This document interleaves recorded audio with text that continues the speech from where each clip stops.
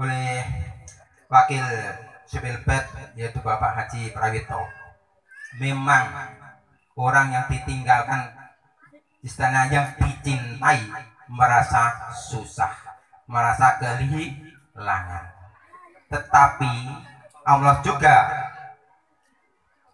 memberi alternatif supaya kehilangan kesedihan yang dicintai itu tidak diperpanjang dengan hal-hal yang memikirkan dengan hal tersebut. Yang mana Allah menginginkan bagi yang memang ditinggalkan itu diberikan apa alternatif yang mana Allah uh, berfirman ya ayyuhalladzina amanus ta'inu bisabri was sholah wis kue nak ditinggalki karo bapakmu ditinggalki karo kesayanganmu wis njaluk tulung karo Gusti Allah lan yo si sobar yo yo nglakoni salat.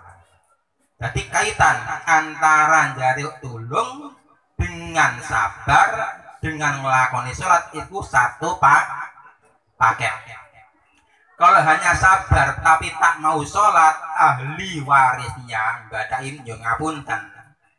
Ora ana sing diandalke. Upamanipun yo ngapunten, muga-muga ampun kelaksanan. Mbah Dai wis seprono seprene ngurip-ngurip agama nang Panjijaya. Ning turunane blas ora jawil blas. Yo. Pripun masuk Ya ra cocok. Alhamdulillah niku muncul generasi turunan Mbah Dai. Wiyo sing sabar ditinggal yang sepayipun. Saiki wis Mulai sabar, jaluk tulungnya Allah. Memang dulu kami ditinggal orang tua. Kami belum punya apa-apa, belum berani bertindak. Dengan istilahnya minta tolong kepada Allah dan sabar juga menjalankan sholat. Alhamdulillah Allah mengizini pada detik ini mulai muncul kesabaran tersebut permintaan tersebut muncullah yaitu generasi turunan dari Mbah Dai Abdur Rahman Allahumma Itu termasuk istilahnya nyambung. Nyambung antara ini sabar, yo gelem nglakoni salat, yo njaluk tulung karo Gusti Allah, Gusti ngijabahi. Itu yang diminta, yang diharapkan kalau memang ada hal orang tuanya meninggal, turunannya semoga muncul-muncul generasi selanjutnya. Hadirin hadirat rahimakumullah. Sehingga kalau orang meninggal dunia itu memang kalau badan ini termasuk tergolong ma apa ninggalipun dipun paringi husnul khotimah. Ugo cara basa niku sedanipun sedo ingkang diinginkan oleh yang maha kuasa. Situ kan ono to wong mati ki ono perno pun Pak ono perno pinten? Ono wong mati diarani mati ono ono wong mati diarani sido ono ono wong mati diarani bongkok ono apa Pak Nur? Ada tiga macam? Perkataan orang meninggal.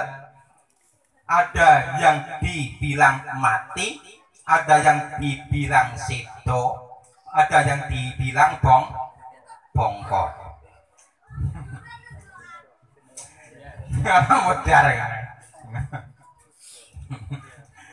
Kalau yang mati umumnya kita kita ini. Sebab orang tersebut kalau tidak dimatein nanti ngobrol-ngobrol kok menikmati kenikmatannya dunia. Alias apa? Dipateni nikmati urip nang dunia wis cukup mudah kakian acara. Tapi ku atas kulon iki niku mati cing cara ninggal dunia nak cara mbah dai menika sedo kok saged sedo nggih? Dosane disu do wis. Paringi husnul khotimah. Nak mudar apa niku? Apa? Anak bongkok nah niku sing parah niku nak bongkong ngeten Pak. Pak nyuwun ngapunten. Dadi nak kula jenengan cara tinggal donya niku bongkok ngalamat nguripe nang donya iku ora ka? Ruwan ora gen genah apa? Bongkok diobong nang rokok pas. Sebabnya nang uripe nang donya ora ruwan. Terus monggo. Sebab kula panjenengan samangke urip urip sing entuk ridani Gusti Allah resepe Gusti Allah niku kula panjen pun lampahi wa idza hujitum bi tahiyatin faju bi ahsaniha. Nalika kowe arep urip nang alam dunya kepengin urip sak bener-benere urip nang alam dunya. Maka hiduplah sebagus-bagusnya hidup di alam dunia ini.